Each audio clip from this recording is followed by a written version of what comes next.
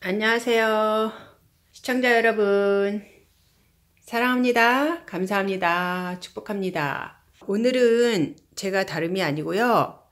요 아이들 두 아이를 분갈이를 할 겁니다. 하나는 창종류고요. 아 이거 이름을 가르쳐 주셨는데 제가 잊어버렸어요. 쪽지도 잊어버리고 네, 그 크리스마스랑 많이 비슷한데 그 창 이름이 있더라고요. 너무 예쁘게 잘 자라서 물도 잘 들고 해서 냉큼 집어왔거든요. 만 원이라서. 요거는 이제 골든 스테이트라는 프릴 종류인데요. 제가 거기서 뽑아가지고 왔습니다. 심으려고. 요게 이제 골든 스테이트 금이 나올 수도 있는 무지인데요.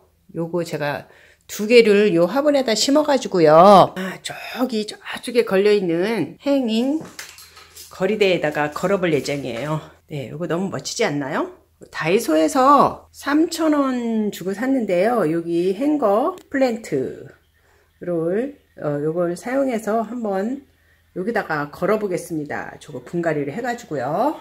네, 조금 이따 분갈이 하는 모습 보여드리겠습니다. 지금부터 여기다가 분갈이를 해가지고요. 어, 행인 플랜트를 한번 해보겠습니다. 행거에다가 이 화분을 걸어서 예쁘게 장식을 해보겠습니다. 이 화분들도 너무 예쁘지 않나요? 그런데 저는 이제 요거는 거의 연두색 같고 노란색이라 저는 분홍색에다 심을 거고요. 요거는 핑크색이라서 노란색에다가 이렇게 대비되게 심을 거예요. 네, 일단은 빨망을 화분에다가 이렇게 깔아놨고요. 예쁘게 중간 마사를 여기다가 이렇게 중간 마사를 3분의 1 정도씩 이렇게 깔아줬습니다.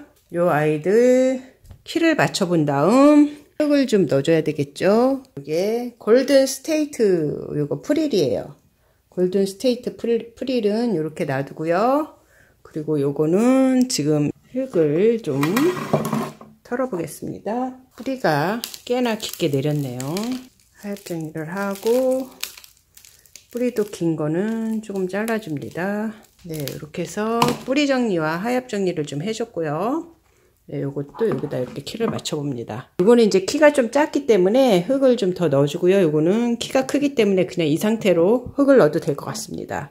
일단은 요 프릴부터 심어볼게요. 여기를 앞으로 좀 할까요? 이렇게. 이렇게 해서 흙을 좀 넣어줍니다. 다육이 배양토는 한 7대3 정도로 섞어줬어요. 배수충과 상토를 7대3 정도로 해주고 영양분이 있는 달걀 껍질이라든지 이런 것도 섞어줬습니다. 미리. 그래서 이렇게 목대가 긴, 굉장히 길게 내렸기 때문에 뿌리를 이렇게 좀 잡아주고요. 여기가 앞이 되겠네요. 저는 이렇게 이제 마른 목골로 이렇게 해보고 싶어가지고 이렇게 심었습니다. 자리를 잘 잡았죠. 중간쯤으로 이렇게 앞으로 좀 빼줍니다. 중간에 자리를 잡게 하기 위해서 흙을 좀 더 넣어주고요. 저희가 자리를 예쁘게 잡았습니다. 여기다가 이따가 복토만 깔아주면 이거는 완성입니다.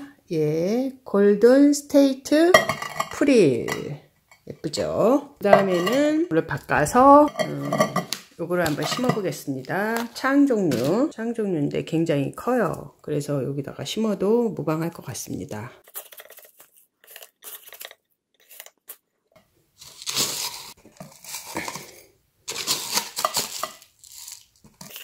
뒤로 이렇게 흙을 넣어주고요. 이 아이가 너무 깊숙이 들어가지 않도록 약간 들어서 흙을 뿌리가 깊숙이 들어가도록 흙을 넣어줍니다. 멋지게 심어졌네요.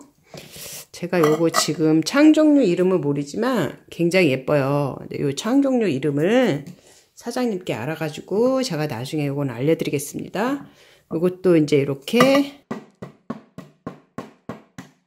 예쁘게 잘 심어졌어요. 두 개가 이제 이렇게 예쁘게 심어졌는데 제가 좀 잘 정리해서 여기 위에다가 복토도 깔아주고 이렇게 해서 다시 한번 정리해서 보여드리겠습니다. 네, 이렇게 이제 다 완성된 상태에서 제가 이제 복토를 한번 깔아주겠습니다. 복토를 이 조그만 숟가락으로 가는 마사로 이번에는 깔아줄 거예요. 화분이 그렇게 큰 화분은 아니기 때문에 가는 마사를 깔아줍니다. 깔아서 아이들을 더욱 고정시켜주고 요 마사를 까는 이유는 물을 주었을 때 이제 외관상 예쁜 것도 있지만 물을 주었을 때 물도 튀지 말라고 하고 이렇게 복토를 깔아줌으로 인해서 아이들이 또 이렇게 어, 잘 어, 이렇게 흔들리는 이런 아이들을 고정을 시켜주는 효과도 있습니다. 네. 어, 요번에 여기다도 복토를 좀 깔아줄게요. 그리고 이렇게 목대를 좀 나오게 하는 역할도 해줍니다. 이 아이들이 너무 화분하고 붙으면 또 숨쉬기도 힘들기 때문에 이렇게 복토를 깔아줌으로 인해서 아이들이 화분과 좀 떨어지는 그런 이런 것도 보여줄 수가 있죠. 이렇게 해서 이제 복토까지 완벽하게 마무리를 지었습니다. 조금 이따 더욱더 정리를 해서 보여드릴 게 아니고 어, 저기 행인 거기다가 걸어가지고 얼마나 멋진 아이들로 변신을 하는지 한번 보여드리겠습니다. 걸어놓고 한번 보여드릴게요. 네, 이렇게 어, 보통 이런 행인에다는 좀 이렇게 축축 늘어지는 식물들을 많이 그동안에는 했었는데요. 어, 이번에는 아, 요거를 한번 바꿔볼까요? 네, 이렇게 이렇게 예쁘게 다육이를 한번 걸어봤습니다. 잘 어울릴지는 모르겠지만 이렇게 한번 해봤어요. 골든 스테이트 다육이 이거는 창 다육이를 이렇게 걸어놔 봤습니다. 멋스러워요. 네, 다육이를 이렇게 심어서 제가 이렇게 다이소에서 이거 3,000원 주고 산 바구니인데요. 행거 바구니예요. 네, 요 이렇게 거리대 바구니에다가 이렇게 심어서 예쁘게 하는 것도 괜찮네요. 네, 요게 이제 만약에 요 화분이 너무 아깝다 싶으면 여기다가 어, 그렇게 심어도 괜찮을 것 같아요. 생수병 있죠? 플라스틱 뭐 페트병에다가 심어가지고 여기다가 이렇게 쏙 넣는 것도 괜찮은 방법일 것 같습니다. 저는 요번에 이렇게 예쁜 화분이 있어서 두 개를 심어봤고요. 네, 골든 스테이트고요. 요거는 창입니다. 다시 한번 저기 음, 탁자에다가 한번 올려서 음, 한번 더 감상을 해보겠습니다. 어디다 더 잘 어울리는지 감상을 한번 해보겠습니다. 여러분도 댓글로 써줘 보세요. 어디다 더 잘 어울리는지. 네, 이렇게 책상 위에다가 한번 올려봤어요. 어디가 더 잘 어울리나요? 아, 제가 보기에는 여기 탁자 위에가 더 잘 어울리는 것 같습니다. 너무 예쁘죠? 요거 두 개를 내려볼까요? 요것도 괜찮네요.